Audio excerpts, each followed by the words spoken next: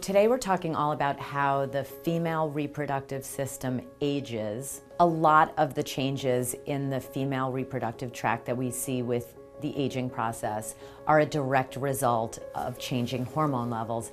And the number one hormone that changes with age in a woman is estrogen, and it drops. And the first thing that I think is really important for people to know is that the female reproductive system, uh, in some ways, starts in the brain when you talk about anatomy, but for the most part in the pelvis, we're talking about the ovaries and then the external and internal urogenital system. So if you start um, with the ovaries, when a woman approaches menopause and certainly after menopause, the ovaries dramatically reduce the amount of estrogen and progesterone that they produce.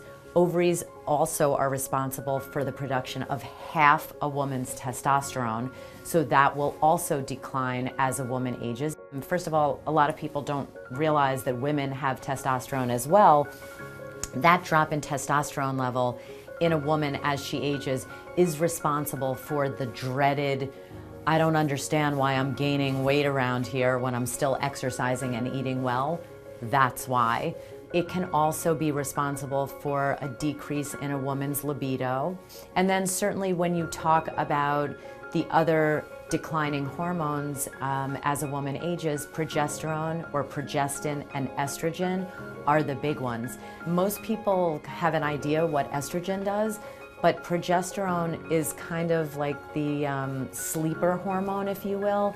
A drop in a woman's progesterone level can be responsible for a lot of the cognitive, emotional, mood effects uh, that a woman can see with age. The definition, the medical and GYN definition of menopause is one year without a menstrual period. Average age of menopause in the United States is 51.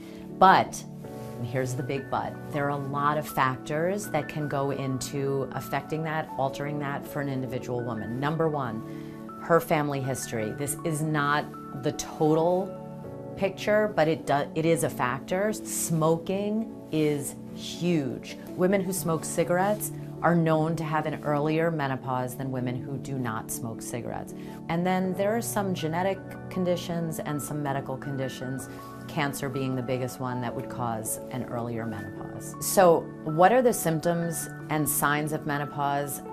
Let me tell you, it runs the gamut. There's no one size fits all when it comes to menopause. Certainly, uh, many, many women, as they become perimenopausal, will notice some kind of cognitive, emotional, psychological, whatever you want to call it. This is from the neck up, um, a lot of signs and symptoms of menopause. Then, kind of the rest of the body, hot flashes, they're the most famous sign or symptom.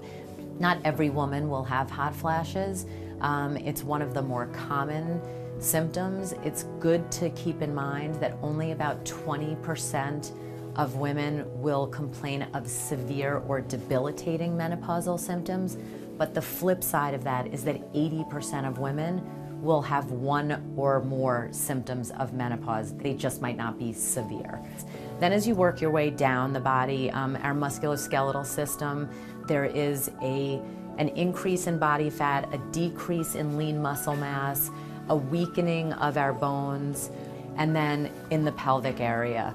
And that includes urinary frequency, in some cases, urinary incontinence, vaginal dryness, pain with intercourse, um, a loss of lubrication, and increased susceptibility for both bladder infections, UTIs, and vaginal infections. Some women will have a change in their bowel habits.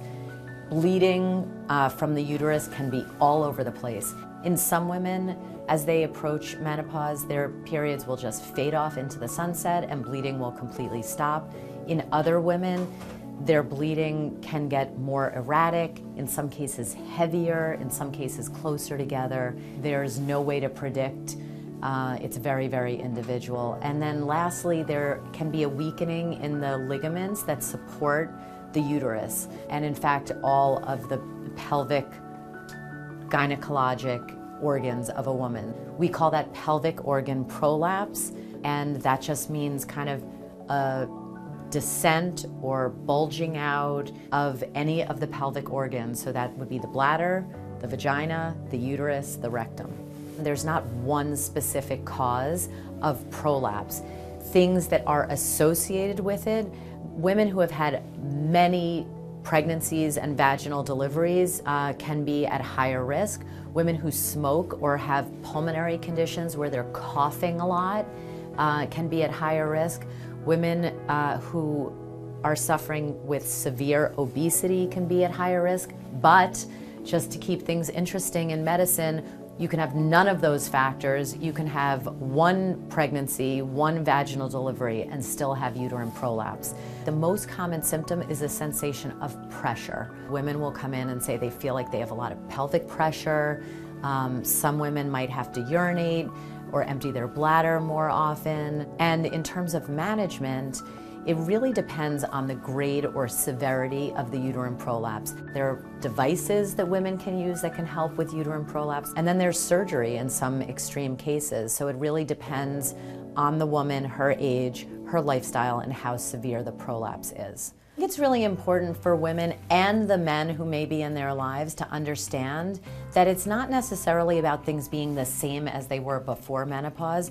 They will be different, but that doesn't mean it won't be as good and in some cases maybe even better. It's just different. So when we look down the road to menopause, it should be with optimism. It should be with an acceptance that it's a normal and natural stage in a woman's life. And everyone will get through it, just like we all got through puberty. Well, hey there, GMA fans. Robin Roberts here. Thanks for checking out our YouTube channel. Lots of great stuff here. So go on, click the subscribe button right over, right over here to get more of awesome videos and content from GMA every day, anytime. We thank you for watching, and we'll see you in the morning on GMA.